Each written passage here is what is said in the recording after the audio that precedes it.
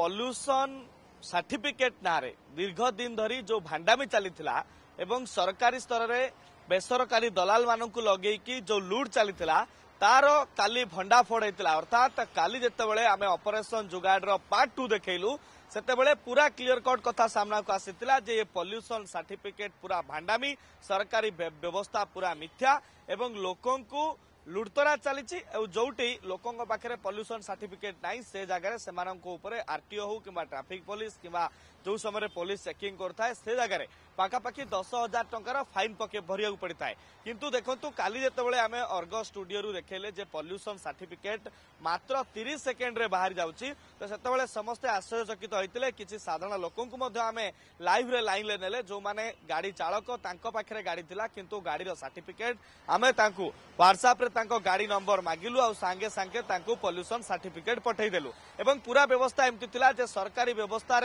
যে আপ গুড় ইউজ হচ্ছে অর্থাৎ যে ওয়েবসাইট গুড় ইউজ হচ্ছে সে ওয়েবসাইট কু হ্যাক করে অপরেশন যুগার অর্থাৎ যুগার সফটওয়্যার কু ব্যবহার করে এভাবে হাইজাক সিস্টম করা হয়েছে যে অতি সহজরে যে কামকু তিরিশ মিনিট সময় লাগে সেই কামকু তিরিশ মিনিট্রে করে দেখাই এবং বড় কথা হচ্ছে যে ଯୋଉମାନେ ଏ ଭିତରେ ଏ ରାକେଟ ଭିତରେ ସାମିଲ ଅଛନ୍ତି ସେମାନେ ପୂର୍ବରୁ ମଧ୍ୟ ଦୁର୍ନୀତିରେ ସାମିଲ ଥିଲେ ଏବଂ ସେମାନଙ୍କୁ ପରିବହନ ବିଭାଗ ଉଚ୍ଚ ସ୍ତରରେ ପୁରସ୍କୃତ କରିକି ବସାଇଛି ଯାହାର ପାର୍ଟ ଫୋରରେ ଆଜି ଆମେ ଖୁଲାସା କରିବୁ ଯେ ପ୍ରକୃତରେ କିଭଳି ଭାବରେ ପରିବହନ ବିଭାଗର ଦୁର୍ନୀତିକୁ ଘଣ୍ଟ ଘୋଡ଼ା ଯାଇପାରେ। କେବଳ ସେତିକି ନୁହେଁ ରାଜ୍ୟର ବିଭିନ୍ନ କୋଣାନୁକୋଣରେ ଥିବା ଆଞ୍ଚଳିକ ପରିବହନ କାର୍ଯ୍ୟାଳୟ ଗୁଡ଼ିକରେ ବିଭିନ୍ନ କର୍ମଚାରୀମାନେ ଅର୍ଥାତ୍ ସେ କିରାଣୀ କୁହନ୍ତୁ ଏମ୍ଭିଆଇ କୁହନ୍ତୁ ଆରଟିଓ ଇନଚାର୍ଜ କୁହନ୍ତୁ ଯୋଉମାନେ ବି ଅଛନ୍ତି ସେମାନେ କେମିତି ପଲ୍ୟୁସନ ଫିଟନେସ୍ ଡିଏଲ୍ ନାଁରେ ହାତ ଗୁଞ୍ଜା ନେଉଛନ୍ତି ଏବଂ ଖୁଲମ ଖୁଲା ସେମାନେ ଡିମାଣ୍ଡ କରୁଛନ୍ତି ଏବଂ ଏ ଟଙ୍କା ପୁରା ତଳଠୁ ଉପର ପର୍ଯ୍ୟନ୍ତ ଅର୍ଥାତ୍ ପିଅନ କିରାଣୀଠୁକୁ ନେଇ ପୁରା କମିଶନରଙ୍କ ପର୍ଯ୍ୟନ୍ତ ଏ ଟଙ୍କା ଯାଉଛି। ସେ କଥାର ପୁରା ଖୁଲାସା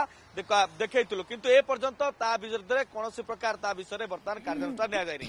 ବର୍ତ୍ତମାନ ସମୟରେ ଆମେ କିଛି ଦୃଶ୍ୟ ଦେଖିବାକୁ ଚାହୁଁଛୁ ଯେ ଇଏ ହଉଛି ଆପଣ ଦେଖନ୍ତୁ ଯେ ଆରଟିଓ ପରିସରର ଦୃଶ୍ୟ। ଅର୍ଥାତ୍ ଏ ଆରଟିଓ ପରିସରରେ ଆପଣ ଦେଖନ୍ତୁ ଯେ ଏଇ ସିଧା ରାସ୍ତାରେ ଅନେକ ଗୁଡିଏ ପଲ୍ୟୁସନ ସେଣ୍ଟର ଗାଡି ଛିଡା ହେଇଥାଏ। ଅର୍ଥାତ୍ ପଲ୍ୟୁସନ ଭେହିକିଲ ଭେହିକିଲ ଗାଡି ଗୁଡିକ ଏ ରାସ୍ତା କଡରେ ଅନେକ ଗୁଡିଏ ଛିଡା ହେଇଥାଏ। କିନ୍ତୁ ଆପଣ ଆଜି ଦେଖନ୍ତୁ ପୁରା ଆରଟିଓ ପରିବେଶ ଆଜି ପୁରା ଫାଙ୍କା। ଅର୍ଥାତ୍ ଆଜି ରବିବାର ଅଛି। ଆପଣ ଜାଣିଛନ୍ତି ରବିବାର ଥିଲେ ସୁଦ୍ଧା କୌଣସି ପ୍ରକାର ଯୋଉ ସାର୍ଟିଫିକେଟ କୁହନ୍ତୁ ଏବଂ ଯୋଉ ସବୁ ପଲ୍ୟୁସନ ଟେଷ୍ଟିଂ ସେଣ୍ଟର ଭେହିକିଲ ଗୁଡିକ ଅଛି ସେଗୁଡିକ ମଧ୍ୟ ଛିଡା ହେଇଥାଏ ଆରଟିଓ ନିକଟରେ। କିନ୍ତୁ ଆମେ ପୁରା ପୁରୀ ବାଇପାସ୍ ନିକଟରୁ ଏ ପର୍ଯ୍ୟନ୍ତ ଦେଖୁଛୁ ଯେ ଆଜି ଏ ପର୍ଯ୍ୟନ୍ତ କେହି ବି ପଲ୍ୟୁସନ ଗାଡି ଗୋଟିଏ ବି ଦେଖିବାକୁ ମିଳୁନି।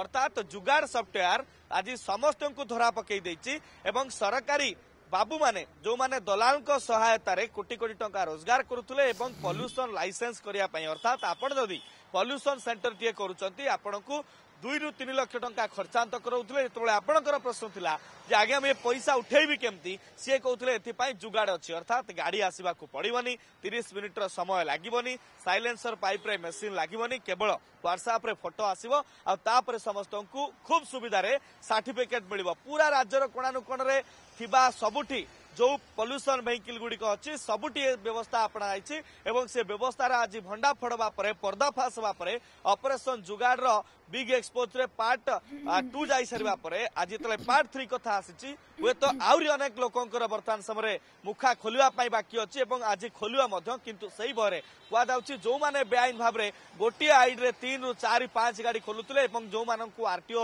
ସହଯୋଗ କରୁଥିଲେ ତ ସେଇମାନେ ଆଜି ଆସିନାହାନ୍ତି ଏବଂ ସେମାନେ ଆଜି ପରଦା ପଛରେ ରହି ପୁଣି ଥରେ ବ୍ୟବସ୍ଥାକୁ ଠିକ କରିବାକୁ ବସିଛନ୍ତି। ମନ୍ଦାକିନି।